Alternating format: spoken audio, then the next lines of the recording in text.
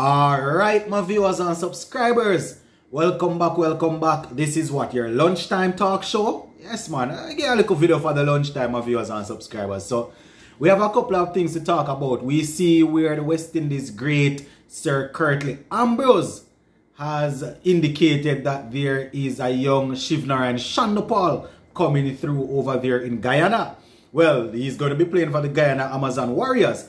And we're not talking about Tagenarine Chanderpaul. We're talking about the former under 19 player, Mr. Matthew Nandu. So we're going to talk about a couple of things that uh, Ambrose had to say about him.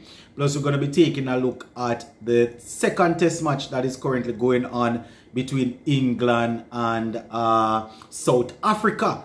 At the end of day two, my viewers and subscribers, England, they have basically gone a lead Yes, man. Um, centuries from two players. So we're going to zoom into all of that, my peeps. So just make sure you watch until the end.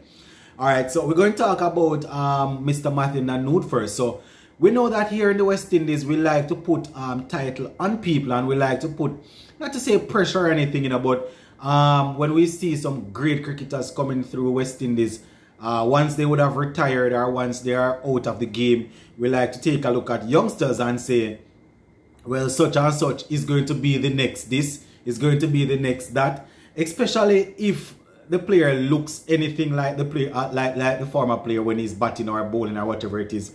Uh, um, when Darren Bravo came, we heard that he was going to be the next Brian Lara, right? In all honesty, when he is going out on the pitch to bat under that helmet, when he comes out and does this, and you know that same thing that Lara does, it sort of look like him, but the run's not really reflected.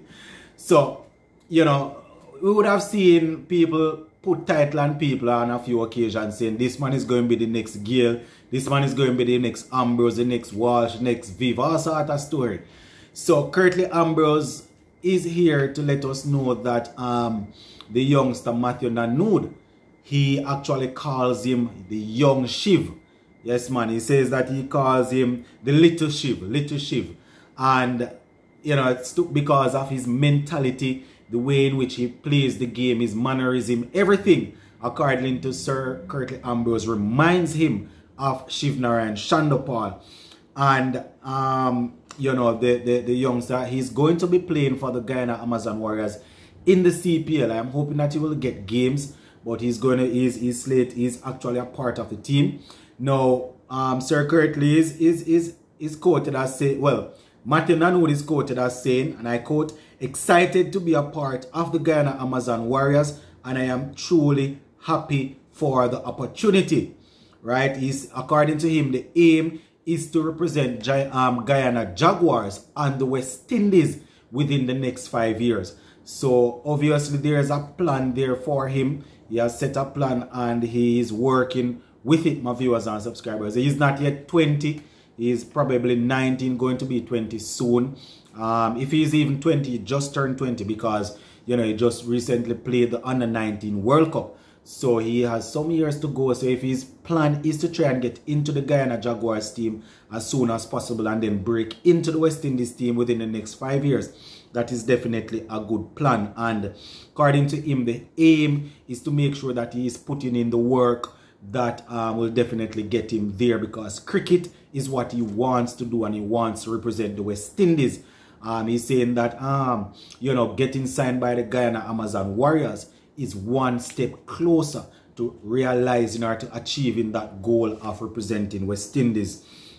And as I said, Curtly Ambrose is singing his praises and we know that Curtly would have worked with him along with other youngsters at the under 19 World Cup the other well they were preparing for the under 19 World Cup. I think he was there as uh, the assistant coach and and and the bowling bowling consultant. So he would have worked with him and you know um it's it, you have to do a whole lot to impress Sir Curtly Ambrose and guys like those that would have achieved. You understand? So not saying Curtly said that he's at the level to really step up and dominate. No he was talking about his mindset, his mannerism, and according to Sir Curtly, he has the ability to stand and to bat for a long period of time. And I think he's also um, one of those, he's, he's an opener. So, you know, he says the ability is there for him to bat long and he has a very good mindset. The mannerism is good. and you know seems as if he has a big appetite for scoring runs of playing cricket. And in the recently concluded under 19 World Cup, I think he had scored. He, he actually scored a century. If I'm not mistaken, he's one of three players overall that scored a century in the recently concluded World Cup. Yeah, you know, so he's definitely definitely a talented youngster just need to find some more some um, consistency and when we have these guys coming in at the under 19 level as i would have indicated in a video that i did recently i don't want to see these guys um, you know playing well at 17 18 19 and then there's a big gap between there and 26 and then we see them come back on the scene in 27 28 trying to make it for west um into west indies cricket. Because at this stage at 27 28 quite a few of the top cricketers around the world would have already settled in teams and would have had a couple of centuries under their belt. We know it's totally different you know but um just just just to say so as I said, I, I am not putting any pressure on the young man to say that he's going to be the next Shiva or is this or that. But if we have someone coming through with that sort of uh, mindset that wants to bat long, you know, West Indies cricket is always in the hunt for that. I know, I know some might say, boy, with Kraigg Brathwaite, um, Bonner, um, Bonner and, and Tagenarine Chanderpaul, know this youngster, it might be too much for the test cricket in terms of, of the of the score rate of, of the of the, the, the, you know the rate that they will score at but it's always good to see people coming through that um you know, appreciate standing up and batting. So we're going to keep a close eye on this uh, youngster here to see how it goes, my peeps. So just a quick update on the England versus South Africa uh, test. The England versus South Africa test, the second test. At the end of day two, England, they are pretty much poised. Looking good. You know, we always say cricket don't, test cricket don't finish in two days or it's not one inning. So we're not giving them any victory or anything like that, but we're just saying that they are in a very good position. So at the end of day two, England, they declared on 415 for 9. Yes, man, 415 for 9. And we had Ben Stokes, the captain, getting a century. I think that is his first century as captain of the England test team. So 103 he got.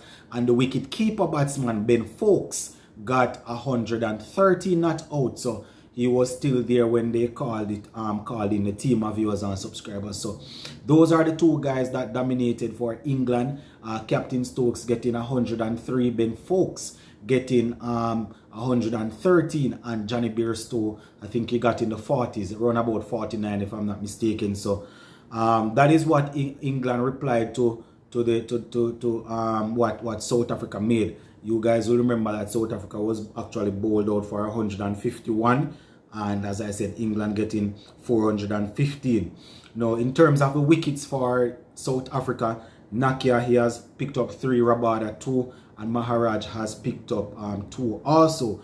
So um, South Africa at the close of, of, of, of day two they were batting 23 without loss. So they have quite a bit more work to do to make sure that they can um, overall that total or get it as close as possible. So they can either try to force a victory or force a draw. But very good batting um, by England in the first innings. They lost the first couple of wickets pretty early. I think yesterday they at the close of play they were 100 and some 100 and a little bit for three. So to be able to carry it all the way up to 415 declare is definitely impressive. So um, that is how the, the, the, test match is going on so far, my peeps. In terms of the 60, we had a couple of games going on today. Knight Riders and, and Guyana Amazon Warriors. The males were in um, in action today. So later on this evening or early tomorrow, I'll definitely give you some information as it relates to those games. All right, my peeps? Big up on yourself.